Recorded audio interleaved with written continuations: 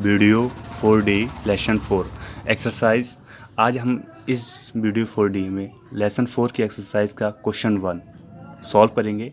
और question one और two हम सॉल्व कर चुके थे, ठीक है? वो क्वेश्चन से ओरल। अब हम बात करते हैं क्वेश्चन वन की। तो स्टूडेंट्स, इस वीडियो में हम question one. How many periods are there in the following according to both system of numeration अब हम हमको बताना है क्वेश्चन में कि कितनी पीरियड्स हैं, ठीक है? तो कैसे बताना है? हमको हमने समझाया था मैंने।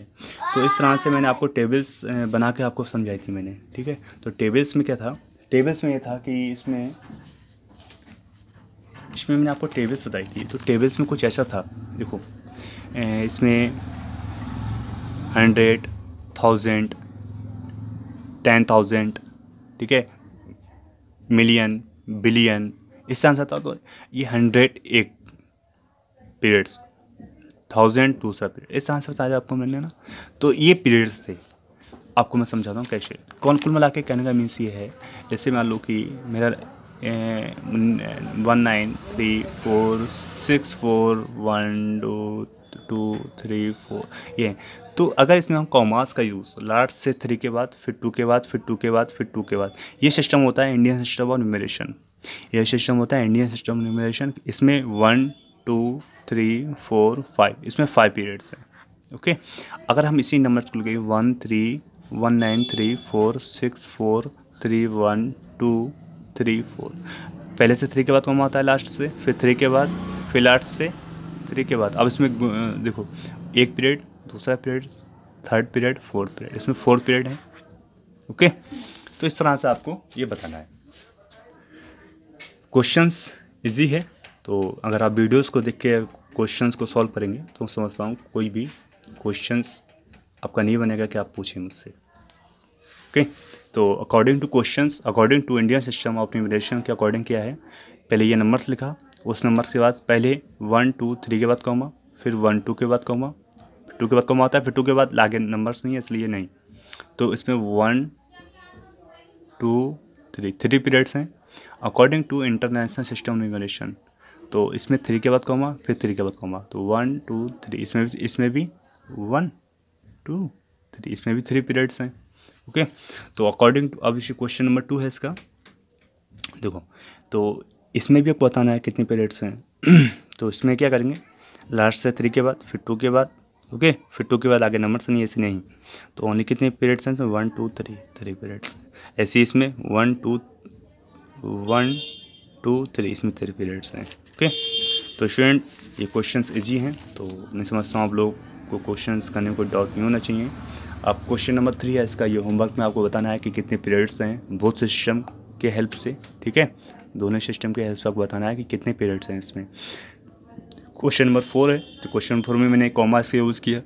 लास्ट से थ्री के बाद लास्ट से थ्री के बाद, फिर टू के बाद, फिर थ्रू के बाद, फिर टू के बाद। तो one two three four four periods हैं। फिर according to international system numeration के अकॉर्डिंग क्या करा है इसमें लास्ट से थ्री के बाद, फिर लास्ट से थ्री के बाद, फिर लास्ट से थ्री के बाद। तो वन टू थ्री इसमें थ्री पीरियड्स हैं ओके तो आपको बस इतना ही करना है। कि आपको कॉमर्स का सही यूज़ करना है इसमें? करेक्ट यूज़ करना है, उसके अकॉर्डिंग आपको बताना है कि कितने पीरियड्स हैं। ये तो सिंपल है, मैं समझता हूँ, ठीक है? अब जो क्वेश्चन नंबर फाइव तो क्वेश्चन नंबर फाइव को आपको होमवर्क में नोट करना है, ठीक है? क्वेश्चन नंबर सिक्स होमवर्क में आपको सॉल्व करना है। क्वेश्चन नंबर सेवन भी मैंने क्या करा कॉमर्स के लास्ट से थ्री के बाद फिर लास्ट से टू के बाद, फिर टू के बाद, फिर टू के बाद ओके तो one two three four five five periods हैं। According to international system numeration तो लास्ट से थ्री के बाद, फिर थ्री के बाद, फिर थ्री के बाद ओके? तो वन, टू, थ्री, फोर। इसमें फोर पीरियड्स हैं। आपको ऐसे बताना है, ठीक? अब स्टूडेंट्स, इसका क्वेश्चन नंबर एट आपको सॉल्व करना है, ठीक है? क्वेश्चन नंबर आपको सेल्फ ही सॉल्व करना है एट ठीक? तो question number question number eight, ठीक? तो मैं समझता हूँ कोई उसमें आपको समस्या नहीं होनी चाहिए। क्वेश्चन नंबर नाइन देखें। तो नाइन में मैंने क्या यूज़ किया, देखो? नाइन को मैंने ऐसे सॉल्व किया है सेम टू सेम ऐसे सॉल्व किया है, जो मैंने क्वेश्चन अभी तक सॉल्व किए। क्या करना है इसमें लास्ट से थ्री के बाद कॉमा फिर टू के बाद, फिर टू के बाद, फिर टू के बाद, फिर टू के बाद, फिर टू के बाद, फिर टू के बाद। तो one two three four five six seven तो सेवन पीरियड्स हैं इसमें। इसमें देखो लास्ट से लास्ट से थ्री के बाद, फिर थ्री के बाद, फिर थ्री के बाद, फिर थ्री के बाद।